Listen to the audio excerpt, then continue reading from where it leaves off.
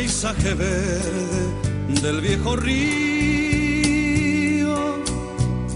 Quiero volver contigo donde nací. Quiero escuchar el canto de las chicharras, tomaran hoja en un... Buenas tardes, tengan todos ustedes. Estamos en un programa más, el número 2 de nuestro programa educativo cooperativo. Hablemos de cooperativas, una empresa que todos debemos conocer. Desde Formosa, Argentina, para Latinoamérica y el mundo. Tengan todos ustedes muy buenas tardes. Buenas tardes, colegas. Buenas tardes a toda la audiencia, quienes nos escucha por LR8 Radio Nacional Formosa en el 820 de su dial, así que muy buenas tardes, que gente linda del campo, ¿eh? de las provincias hermanas de la República Hermana del Paraguay, quienes nos escuchan a través de esta emisora. Buenas tardes, licenciado. Muy buenas tardes, compañero Julio Aquino, este, contador profesional formoseño, nacido en el interior, orgulloso de él, esos parajes, esos campos tan fructíferos. Eh, y en fin, buenas tardes a todos, un gran abrazo cooperativo y como siempre estamos dispuestos a, brindar nuestros modestos conocimientos para que eh, sepamos de qué se trata este, este programa, Hablemos de Cooperativas, una empresa que todos debemos conocer por lo valioso del conocimiento, lo valioso del tipo de organización muy útil para el combate a la pobreza, para el combate a la marginación. Bien, el, les decimos que nuestro operador de turno en estudio en este momento nos acompaña el señor Daniel Galarza, muy buenas tardes para él, y el operador de planta, ¿eh? al señor Osvaldo Contreras, que está allá en el lote 68, ¿eh? en las afueras de nuestra ciudad. Así que un saludo para ellos. Y les decimos que nuestra vía de comunicación... Perón. Ah, bueno. Y antes de irte, colega, a las vías de comunicaciones, vamos a darle un saludo también cordial, fraterno, un saludo cooperativo al señor Julián González, que también ya está en su puesto de trabajo. Así es, se comunica con nosotros a través del 4426-197, el celular 370-466-9625. Esto es en la radio, los estudios de, de nuestra emisora LR8 Radio Nacional Formosa. ¿Y el tiempo? ¿Cómo El tiempo, bueno, vamos a compartir también el servicio meteorológico proporcionado por el Servicio Meteorológico Nacional de las 16 horas. La temperatura actual es de 20.4 grados centígrados, el cielo está parcialmente nublado, la sensación térmica no se calcula, la visibilidad 20 kilómetros por hora, la, la presión es 1009.2 hectopascal, el viento del sector sur, sur a 11 kilómetros por hora. Así es que nos dice también el, siguen los datos del tiempo, que esta tarde, neblinas, nubosidad variable, probabilidad de llovizna, vientos leves del sector este. O sea que la mínima era 8 grados y la máxima 19 grados. Ya superamos porque ahora ya es 20 grados, así que... Eh, Está haciendo un poquito de calor. Sí, y mañana, hasta mañana viernes, nos dice que el- a la mañana una mínima va a ser 12 grados centígrados, a la tarde noche 21 grados centígrados, por la mañana tormentas aisladas y por la tarde inestables con probables precipitaciones. Datos proporcionados por el Servicio Meteorológico Nacional.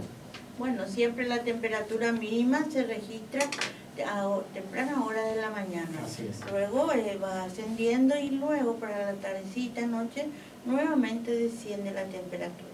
Bueno, les decimos a toda nuestra audiencia que pueden escucharnos por AM 820, que es Radio Nacional, pero también pueden escucharnos en la frecuencia de Radio Módula FM 94.1. Y demás está decir también que pueden escucharnos directamente por internet haciendo ustedes un clic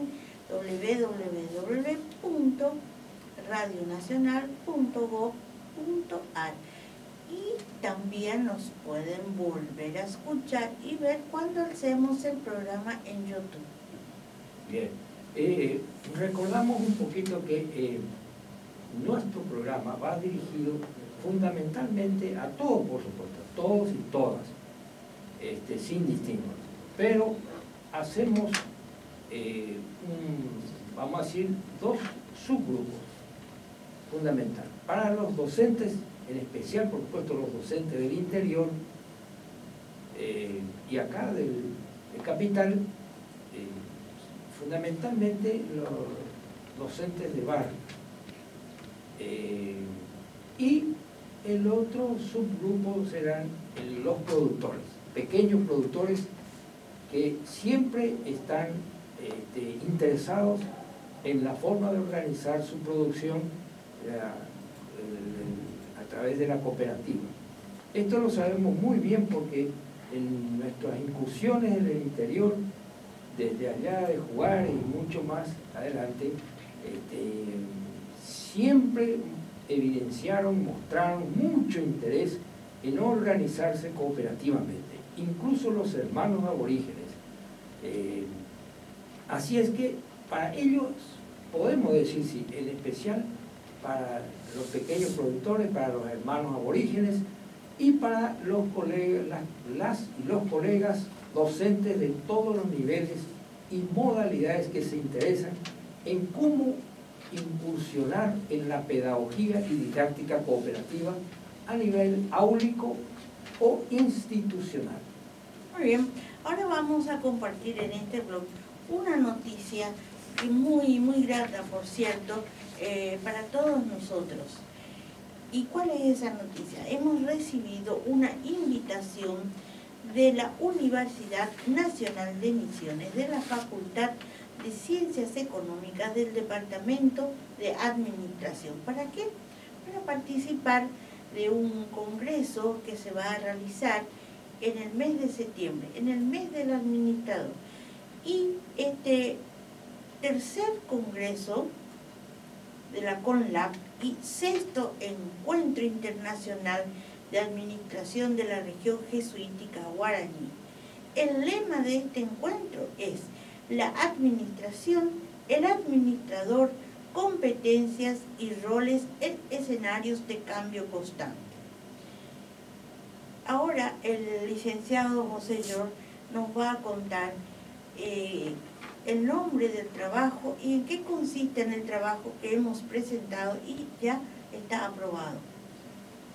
El trabajo este, es una narrativa es decir, es, la modalidad de narrativo, porque eh, la manera de participar es diversa, da muchas posibilidades. La verdad es que nos encontramos incluso con una novedad muy, muy linda en estas modalidades. O sea, podemos presentar trabajos académicos, trabajos científicos, incluso presentar un libro.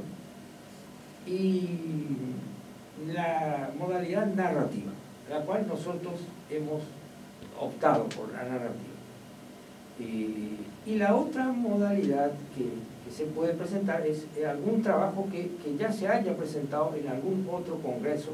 Acá no, hay problema, este, siempre y cuando eh, sea un aporte, ¿no es cierto? Porque para eso, lógicamente, está el comité académico que revisa el trabajo y bueno, pero existe esta posibilidad que eh, generalmente no, es así. Por lo tanto, es muy amplia y, bueno, nosotros hemos presentado el trabajo que ya está aprobado por el comité precisamente académico eh, de la modalidad eh, porque consideramos oportuno compartir con los estudiantes nuestra experiencia en el ejercicio profesional de licenciado en administración, pasar esta, esta experiencia, porque eh, la carrera de licenciado en administración es una carrera prácticamente nueva todavía eh, con respecto a las otras carreras y necesita, necesita de mucha promoción, necesita de, que las empresas eh, se concienticen de la importancia de contar en su staff a un licenciado en administración. Eh, de tal manera entonces nosotros consideramos pertinente y elaboramos y así lo expresamos indudablemente que le gustó, digamos, esta, esta forma porque de una manera sencilla y amena nosotros contamos nuestra experiencia. Eh, esta experiencia, valga la oportunidad de decirlo claramente, es una experiencia sui generis, porque siendo licenciado en administración nosotros desarrollamos esta actividad dentro de una cooperativa, dentro de técnico, cooperativa de provisión de servicios cooperativos y sociales.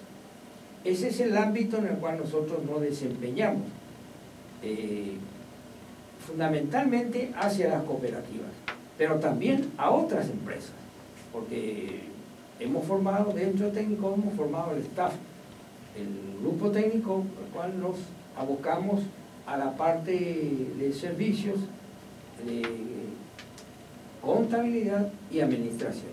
Y brindamos entonces un curso de, de, estas cuestiones a las empresas que así lo requieren.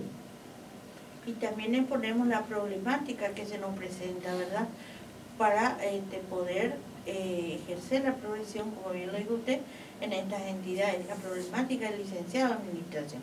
Tanto en que no tenemos un colegio todavía que nos represente, estamos este, matriculados, pero dentro del Consejo de Ciencias Económicas de la provincia de Formosa, y no tenemos un colegio. Eso también es una problemática en varios sectores. No obstante, debemos hacer notar, ¿no es cierto?, que el Consejo eh, de Ciencias Económicas de Formosa, las autoridades siempre nos han alentado, nos han eh, motivado para, que conformemos, para, darle vida a la comisión de administración. Y de hecho que hemos tenido varias reuniones, varias reuniones y para tratar de, avanzar en este tema.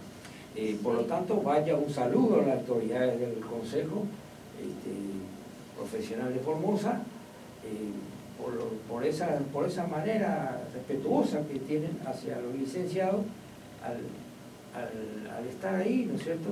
Y alentarnos a que la comisión de administración vaya adelante. También debemos decir de que por, por impulso precisamente de, la contadora Ana María Ramírez Salsa y el contador Lurio Aquino, eh, presentaron el proyecto y fue aprobado una comisión de asuntos de economía social y solidaria. Sí, de asociaciones. De asociaciones. De economía social y solidaria, así es. Bueno, y eso, ese es el marco, ese es el marco, ¿no es cierto?, de, nuestra narrativa, donde nosotros contamos el ejercicio profesional propiamente dicho, este, la promoción de la, de la carrera, de la, de la profesión, ¿no es cierto? y la incidencia que nosotros vamos, vamos viendo que, tiene que tener esta carrera.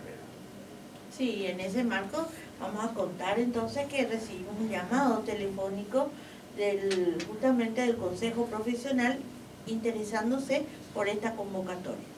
Claro, ese, así fue, ni bien recibieron la nota que nosotros presentamos por mesa de entrada, este, tuvo la gentileza el contador Jiménez y este, me llamó para interesarse por los pormenores de, la, este, de la novedad, que nosotros le cursamos la nota, y, bueno, quedamos en que íbamos a tener una, reunión con él para, para fijar algunos, algunas cuestiones que hacen a la exposición.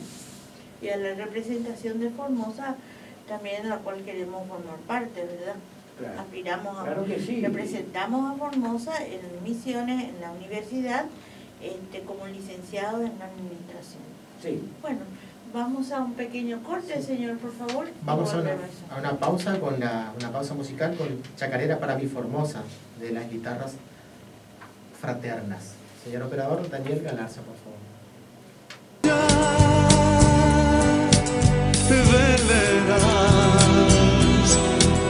sororo con la fresca y mansa hierba. Mi tierra se llama Formosa y es la frontera más hermosa. Ven que te llevo a la orilla donde yo nací.